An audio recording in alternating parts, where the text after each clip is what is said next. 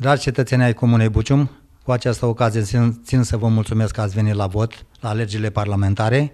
Comuna Bucium a ieșit pe un loc fruntaș în județul Bacău.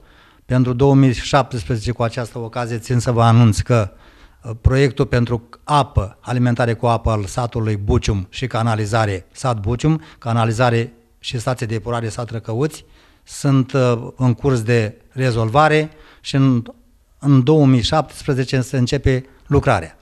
Tot uh, pentru 2017 ar mai fi dotare cămin cultural și cele două uh, terenuri de mini-fotbal betonate unde să aibă loc să joace tineretul Comunei Bucium.